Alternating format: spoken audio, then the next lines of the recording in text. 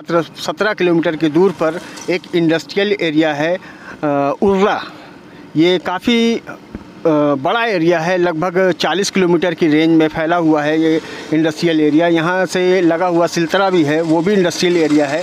और ये लगभग तीन फ़ेज़ में Urla one Urla two Urla three करके बना हुआ है। ये अभी हम जो है उर्ला से निकल के हम बेंद्री रोड पर, कारा बेंद्री रोड है ये। इस पर खड़े हुए हैं और यहाँ पर एक बाईपास भी बना हुआ है। और यहाँ पर आप देख सकते हैं कि ये सड़क है ये। ये इंडस्ट्रियल एरिया की सड़क है। आप जो गड्ढे वाली सड़क है, इस पर जो है राखड़ पड़ा हुआ है।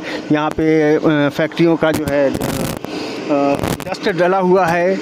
ये सब जानलेवा है। ये इंसान के लिए बहुत ख़तरनाक है क्योंकि ये केमिकल युक्त डस्ट है और इसको ऐसे ही खुले जो है रोड पर छोड़ दिया गया है। आप देख सकते हैं इसको कि ये कितना ख़तरनाक हो सकता है इंसानों के लिए। और यहीं पे कोई सावधानी, कोई सुरक्षा के मानक नहीं है। यहाँ पे सड़कें ख़राब है, ये नगर निगम बन चुका है, ये नगर निगम अपना एक कार्यकाल पूरा कर चुका है।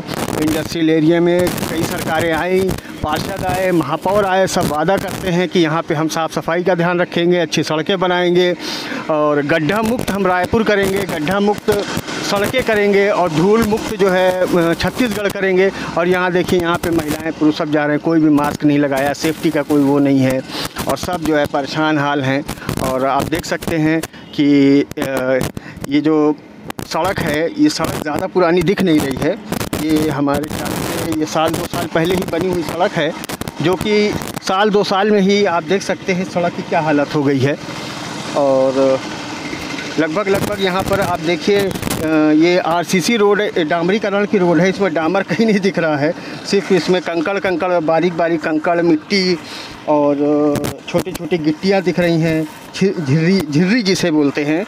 और इसमें धूल देखिए कितनी ज़्यादा है। तो आप ये समझ सकते हैं कि इसमें कोई गुणवत्ता नहीं है। ये ये बिना गुणवत्ता के जो है, सड़क बनी हुई है।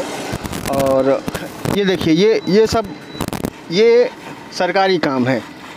आप देखिए, इसमें कहीं पे भी डामल नहीं है। यहाँ पर सिर्फ़ जो है झिर्री है और मिट्टी है। झिर्री मिट्टी से सड़क बना दी गई है। और इस सड़क के लिए शायद ये संभवतः दो चार करोड़ रुपए की ये सड़क होगी। और ये दो चार करोड़ की सड़क की हालत देखिए। ये तो हाल है उर्ला का। बने रहिए हमारे साथ। आगे हम इंडस्ट्रियल एरिया के और भी कुछ खबरों को लेकर आपके साथ हम साझा करेंगे आपके आपके साथ कुछ आकर्षक, कुछ विशेष और कुछ सरकार की खामियों को उजागर करती हुई खबरों को बने रहिए हमारे साथ। क्राइम छत्तीसगढ़ के साथ।